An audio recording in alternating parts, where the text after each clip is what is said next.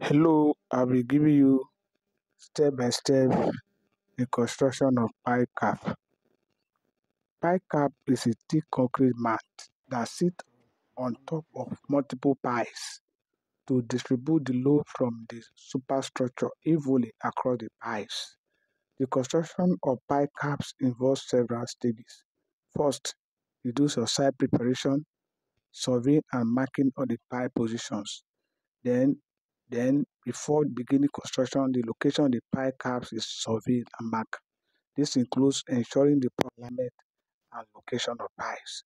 Then the second is excavation. Excavate area to require depth, typically just below the top of the pile. The depth will depend on the pile length and design specification. The next thing to do your blinding to receive the formwork to give a uniform base for the formwork.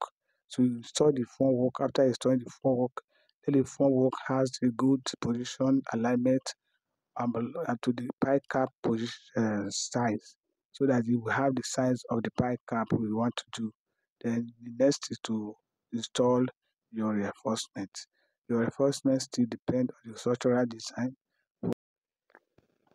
Install the steel reinforcement inside the formwork this usually consists of mesh or rebar, vertical bars around the pile, and additional reinforcement as per the design.